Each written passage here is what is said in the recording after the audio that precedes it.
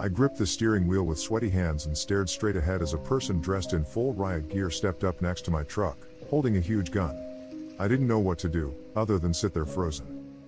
I'm going to need to see your driver's license, sir. Please don't get smart and try anything, or I will shoot you in the head. I lifted one hand from the steering wheel. There, on the seat next to me, I said. My wallet. Okay? The man nodded his helmet. We don't have all day now, he said. Go ahead and get it. I fumbled around with one hand until I finally had it. I handed it over and he had a look. He kept looking up at me, and then back down at the license. Then he spoke into a radio clip to his shoulder. 759 reporting in. I have located the gardener. Repeat, I have located the gardener. Confirm that assistance is en route. What? A strange robotic voice replied, This is confirmation that assistance is en route, 759. What is this? I asked the man. What's happening? We're saving the world, sir, he said, handing the license back. You'll understand soon enough. Please, do not worry. Everything's going to be okay. Somehow, I wasn't reassured. Within a minute, three more riot gear troopers or whatever were marching toward my truck. Then they were all at the driver's side door. Please step out of your vehicle and come peacefully with us, said a woman. We have been cleared to take a nonviolent approach with you, sir. You are very fortunate. What about my girlfriend? I asked. And our cats? They're in the car behind me. The woman turned her head and took a quick glance at Lauren. I could still hear the cats through the open window, hissing and yowling. If she's on the list, said the woman, then she will be joining you shortly. No, I said. If we're not together, then I'm not going anywhere. So you better check your list now. The woman nodded to the man who had originally come up to my truck. Check her out, 759, she said. Then she turned back to me. We have been authorized to use a non-violent approach with you. But commanded to bring you with us by whatever means necessary. I watched in the rearview mirror as this 759 dude looked over Lauren's ID. He spoke into his radio again, and then walked back over. We have been authorized to bring the gardener and the gatherer together, he said to the rest of them. The what? And the cats? I asked. Back to the radio. This is 759. The gardener has requested to bring along two felines. They are currently secured in crates in the back of the gatherer's vehicle. Permission granted or denied? I held my breath until I could hear that robotic voice cut through the silence. Granted. I would have felt a great relief, except I wasn't sure if that just meant that we were all getting dragged off together to die in the woods.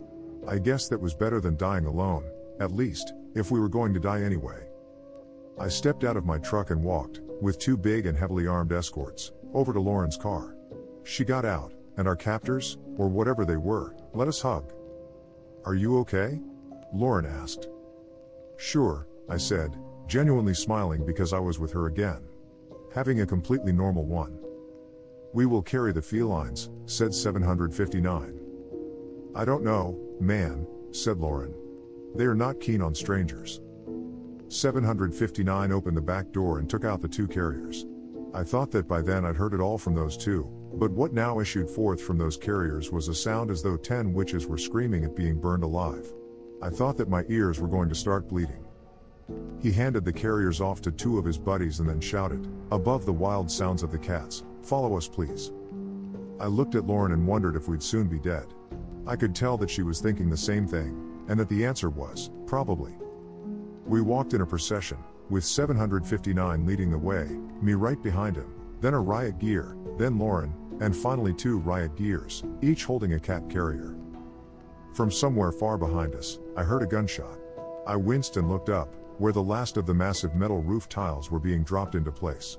There was only a small square of open sky left. We walked silently through a short stretch of woods until we came to a group of people huddled together in a corner where one metal wall met another. There was another wall surrounding these people, though not one of metal, it was a wall of riot gears, pointing their guns straight into the crowd. You two will go stand with the rest, said 759. No matter what, do not move. If you move, you will die. We would strongly prefer that you didn't. The cats? asked Lauren. Can I have them? Shortly, said 759. If you do as you're told. We went and stood where the others were crouched. The area smelled like sweat and piss and shit. People were sobbing and muttering in fear. One woman stood up and made a break for it. She put her head down and started running. I expected the guards to shoot her, but they didn't. We tried to save her, said 759, but we sadly can't save everyone. She's dead now. You'll see. And then I did see. I heard the rumble first, coming from above. I looked up and had half a second to process what a coincidence it was that we were standing under the one square of the roof that wasn't filled in yet. This was followed by another half a second in which it dawned on me that the roof was actually falling down, intact, as one giant sheet of massively heavy metal. It did not take long for it to reach the ground. I stood there holding Lauren, looking around in shock. The roof was now the floor, and had crushed everything, except for those of us who were below that one empty space. In an instant, it had crushed all of the trees, and all of those cars, with the people still in them. Everything. The woman who had run away. They were all dead now. Hundreds of people, flattened to death in the blink of an eye. All of the survivors were silent. The only noises were our two cats, Hanky and Hattie, who had somehow become even more wild. They were clawing at the sides of their carriers. And then the thunder from overhead. I looked up at the now completely open sky, and saw the darkest and thickest clouds I have ever seen.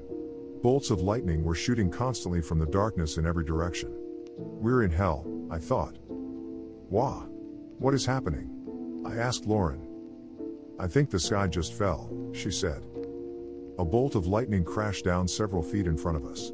The brightness made me instinctively close my eyes, and I felt an incredible heat. When I dared to open them again, I saw that the spot where the lightning had struck was glowing green. It got brighter and brighter, and then. It's hard to describe. It's like that spot of the floor was suddenly sucked away into nothingness, and in its place was a vast, seemingly endless black hole. Everybody now please step into the portal, said 759. Nobody moved. We were all looking around in shock. Everything is quite fine, said 759. The travel will not harm you. 766, would you please demonstrate? One of the guards nodded, and then walked over to the black hole. She turned around, and stepped into it backwards, like she was climbing down a ladder. I watched in disbelief as her leg was swallowed up by the darkness. Soon, she was gone altogether. What happens if we don't? Somebody asked from behind me. Then we will shoot you, said 759, very matter of factly. You all have been selected for this journey, and it's our objective to see you safely through to the other side. But if you refuse, then you no longer serve a purpose, and our actions will reflect that reality. People started stirring. Those who had been crouching stood up slowly. But nobody was making any movement toward the hole. I squeezed Lauren's hand and then spoke up. I'll go first. 759 nodded. Excellent. A born leader. That's very good news. Then he spoke into his radio. The gardener is incoming. I turned to Lauren. You come right behind me, okay, baby? I don't think we have a choice. I love you. I love you, said Lauren, obviously fighting back tears. I broke away and walked toward the hole. There was just endless darkness there. I bent down and put a finger inside. It didn't feel like anything at all. I pulled my finger out and did like the guard did. I turned backwards and started climbing down the hole. It was very strange, as though the hole itself were very dense, so even though I couldn't feel anything solid under my feet, I could control my movements, and I didn't fall quickly into the darkness like I had feared. I stopped while my head was still in this world, and took one last look at Lauren.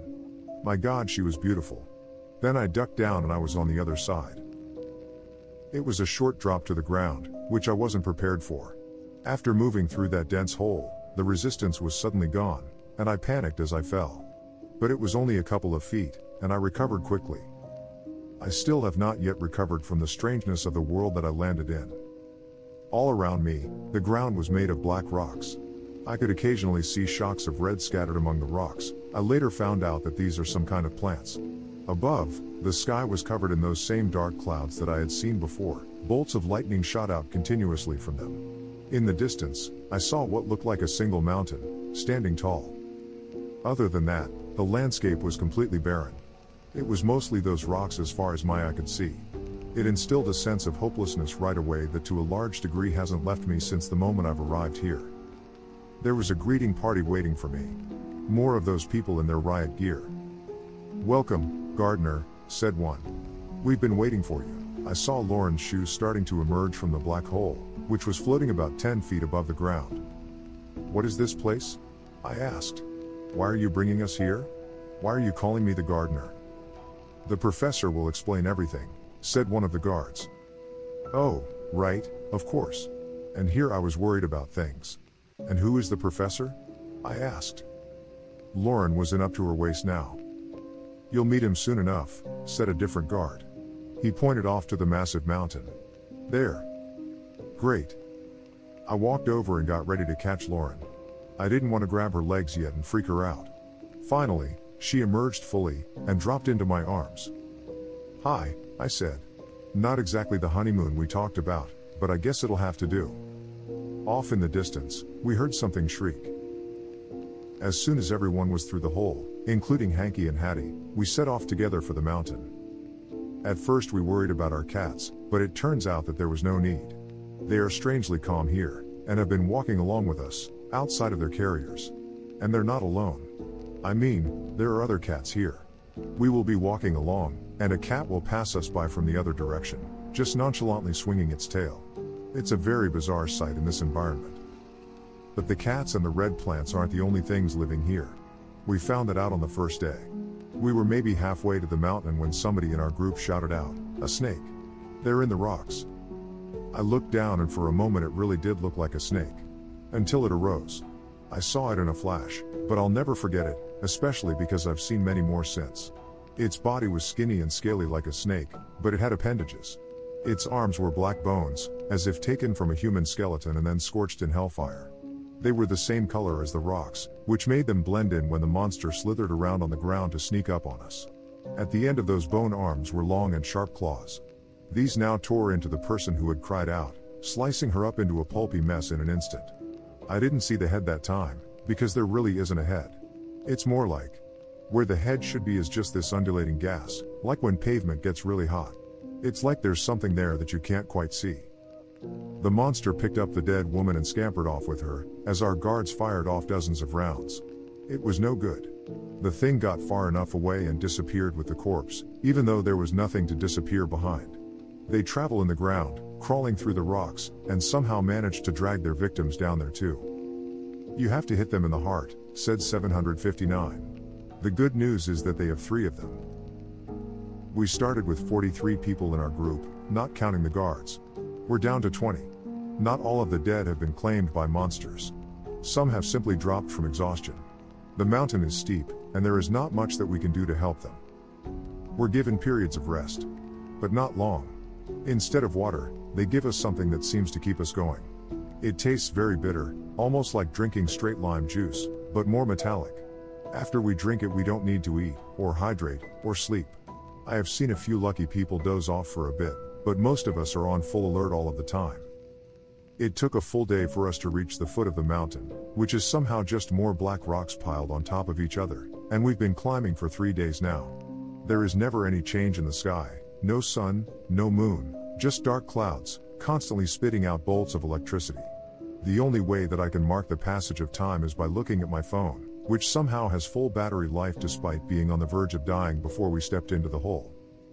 I have checked my mysteriously charged phone a million times for reception. Most of the time, there is none. In fact, most of the time, there is only a string of numbers running across the screen. But sometimes, I do get reception. I've been able to listen to 27 voicemails from worried friends and family, but haven't been able to make any calls. Sometimes, I can access certain websites. I don't know why, but I've found that the internet works in a limited way when one of our cats is curled up on my lap, nudging the phone with his or her chin. There is some kind of deal with cats and the hellscape that we find ourselves in now. I wish I could tell you more. I wish I knew more. For now, we're getting ready to march again. Up the mountain to see the professor.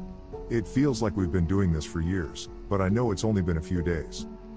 We only have a few minutes of rest period left, and I want to spend some time with Lauren. So I'm just going to try to send this out. I hope it gets to you. Your encouragement last time has really played a big part in keeping me going. A part of me wants to grab Lauren and the cats and just start running. But there's nowhere to go. It feels hopeless, but reading your messages has been a beacon in an otherwise utterly dark world. I will try to keep you updated.